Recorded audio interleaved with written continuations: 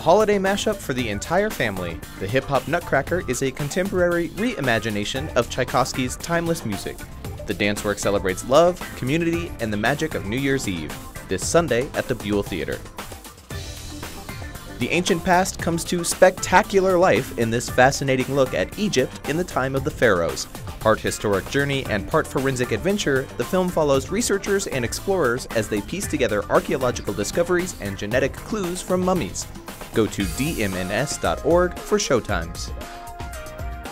It is May of 1978, and Louise Brooks, the silent film star known for her most famous role of Lulu in Pandora's Box, is now a recluse in her dingy apartment in Rochester, New York.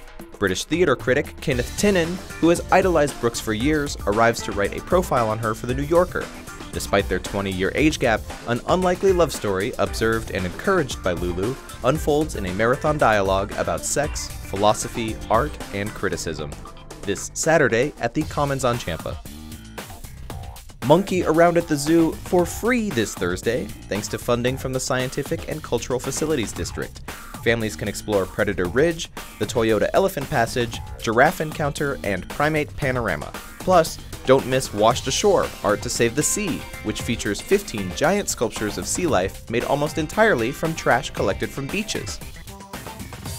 History Colorado's Tiny Library concert series features local Colorado musicians in the unusual and intimate space of the museum's Stephen H. Hart Library and Research Center.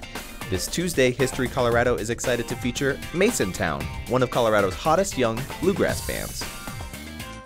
Anthony Bourdain's The Hunger 2016 North American Tour will be making a stop at the Bellco Theater in Denver for one night only this Friday.